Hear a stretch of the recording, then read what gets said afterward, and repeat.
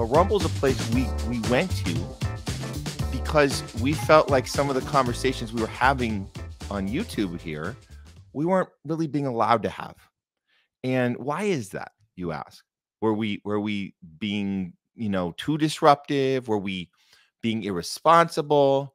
Why were we getting strikes from YouTube? Because we did. We got a strike on our Sherwood Players channel. It was um really um awful. And they said we were guilty of medical misinformation.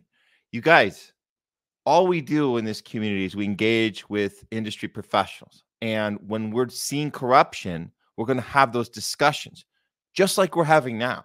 And I hope some of you who maybe felt we were going too far back then because we wanted to talk about healthcare, we wanted to talk about the corruption of the medical arena, the corruption of big pharma. If you guys thought there was no place for that here, in Sherwood, okay, that's you have a right to your opinion.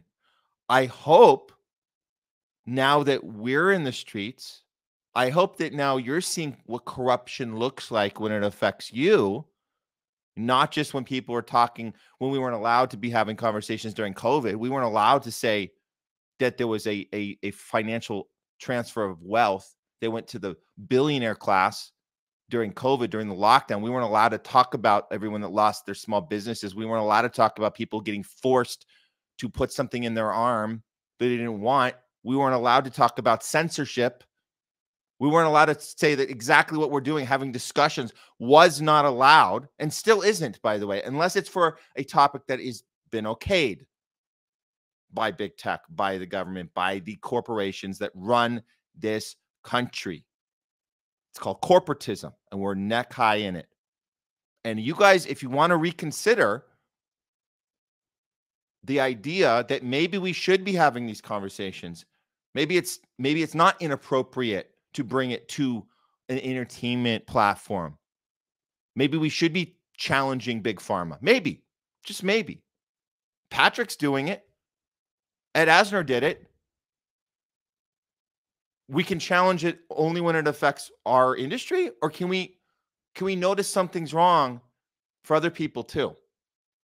Can we notice it for other people? Can we can we have empathy for other people's in their industries when they're in the streets? Can we have empathy? Do we know what that looks like? If you're asking yourself these questions or if you're resonating right now with what i'm saying we invite you over to the homeless left because we're going to be on there every Tuesday on Rumble. Rumble's a place they don't they don't give you strikes. They don't they don't punish you for having discussions. So we're going to stick to our word and keep that show off of this platform. Um, mostly. I mean, obviously there's exceptions like this like this issue right now. We want to talk about it with everyone, not just entertainment crowd. By the way, guys, there's a whole other audience on Rumble that actually cares about what's going on with us right now. They actually do. And they're not even in entertainment. Can you believe it? Can you guys believe that there's actually people that are seeing the corruption? They're seeing the quiet parts said out loud. They're seeing it right here. They're seeing it because we're because they're covering it. We're seeing, oh, did those CEOs actually say they're not going to do negotiations until the, the writers uh, were living out of their cars? Did they actually say? Yeah, they said that guess what? It's not just the actors and artists and writers that care. There's people outside that care too. Why do they care? Because they already were paying attention. They were having discussions with us about these other problems, forcing people to close their businesses, forcing people to put shots in their in their children's arm. For whatever they were dealing with. People who are anti-war that say, "Hey, maybe we're giving billions of dollars to the to to a to a corrupt country in Europe, but we have homeless people living under every bridge. Oh my gosh. Um, sorry guys, didn't mean to go so far with Sherwood because we're supposed to talk about fun and storytelling entertainment. Guess what? We can't have conversations about entertainment and storytelling if we're censoring everyone. And we're not just we censor people you, you disagree with. Oh, that's fine, right? It's it's okay to tell people to shut up that you don't agree with.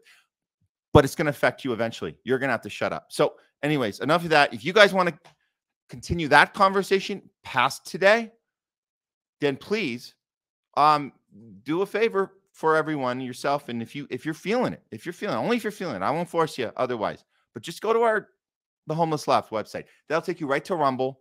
You can sign up on Rumble for free. It's easy. Uh, it takes a minute, and you guys can watch our show every Tuesday. We have a whole nother audience, a whole nother audience outside of the entertainment industry that care about when, when, when people are getting screwed by by the corporate elite that actually run this country. They care.